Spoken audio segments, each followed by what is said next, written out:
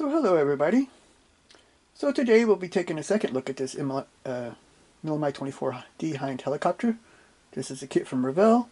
It's already built. I think it turned out pretty good. Um, I really like this helicopter. So here's the instruction sheet. Normal old Revell. See, I always put notes in there about uh, what colors I use, so if I have to redo it, then I have it. I know what I need.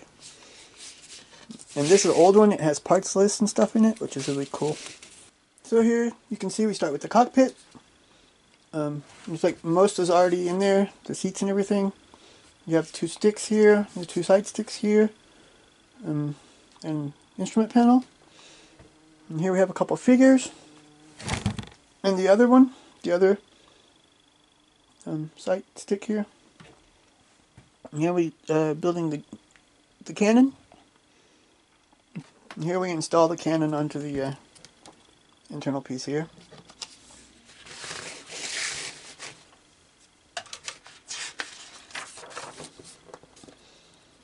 Here we start working on the fuselage. You have the uh, front landing gear bay goes in.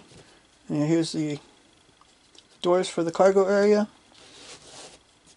Here we put the cockpit in. And here we're building the seats for the inside. Building the cargo area, or the troop area. You have the front and back walls, the floor and the roof, and the seats. And you put that inside. Here we're building the engines. I remember there was a lot of flash around here. I had to clean up a lot.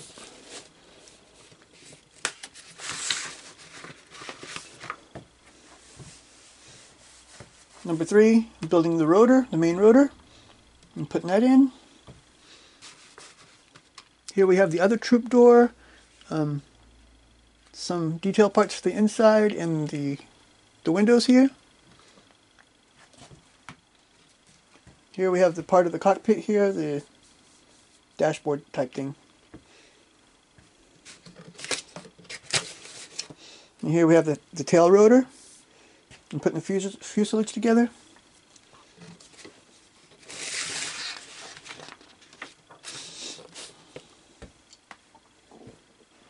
Here we're putting this cover onto the uh, main landing gear bay. Here's the intakes. Instrument panel for the front. Have some fans that go in there into the canopy. Put the canopy on. I always save that for last.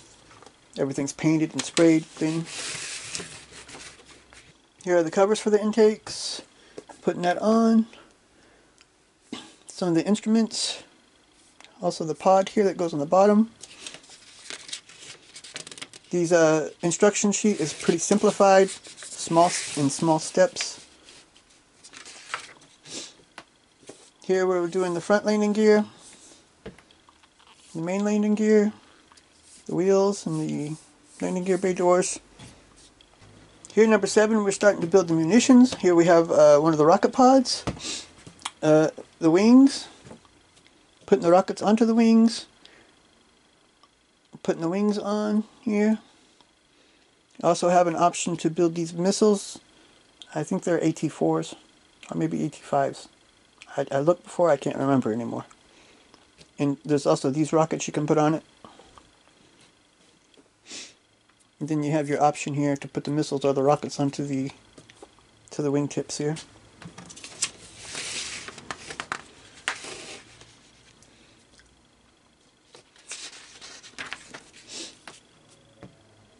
So we're here we have the uh, an open door for the cargo area, the troop area.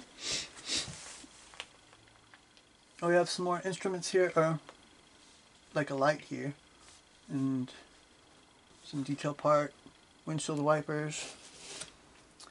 Here is to position the cockpit door open, and the canopy here open.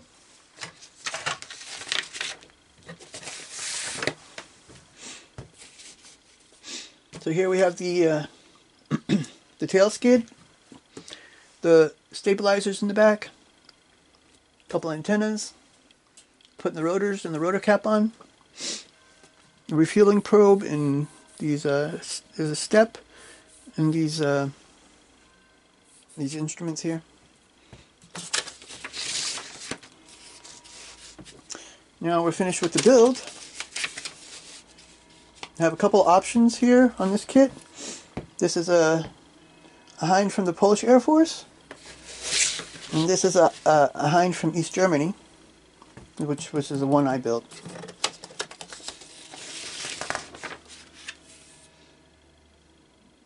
And here it just shows the common camouflage patterns with the colors and everything. And so here's the finished kit. I think the I think the colors turned out pretty good. I used uh, on the bottom I used Model Master Duck Egg Blue and the colors on the body are also Model Master. It's Field Drab and uh, Armor Sand. Unfortunately, it's hard to find these colors anymore because Model Master is they changed companies and a lot of their selection is gone, which is really crappy, in my opinion. Now you see I made the, I didn't open up the canopy. I made it closed. You see there's some fit problems here along this door. I did make the cargo bay open. I opted for these AT uh, missiles. I've had this kit quite a while already. Probably built it about 10 years ago or so. And it's holding up pretty good. Even the, the decals are holding up good too.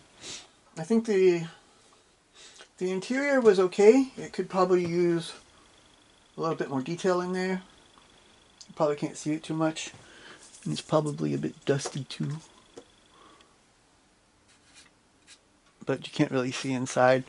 I usually opt to make the canopies closed so when there's missing detail it's not really that noticeable. If you open the canopy then it's much more noticeable when there's stuff missing. You see the blades here, the propeller does rotate. I remember when I was in Iraq, we found one of these rocket pods. it's kind of cool. Um, I had to do a lot of cleaning up around these exhausts here. And you see I didn't put the covers on it. I made a like that, you know. But I think it turned out pretty good. I really like this helicopter. I also have a K, uh, KA-50 Hokum to build. And I wanted, uh, who was it? Some company that went broke. We were supposed to make an MI-28. And uh, it never came. I really wanted that one. So thanks for watching. Please like and subscribe. And in my next video, we'll take a look at this Flak Panzer E100 from Amusing Hobbies. Um, I'm not really all that into prototypes and stuff. I do have a couple. I have the uh, the mouse, which was actually, you know, they actually built built a couple of them, and I have that uh, the Japanese one, the Type Five, also was not used. And this was never really built or anything. It was just a design they had. But I think it's really awesome. I mean, they were the enemy, but that is just, look at, it's cool. So I was like, I'm going to get that. And uh, we'll take a look at this next time. So thanks for watching, and please like and subscribe.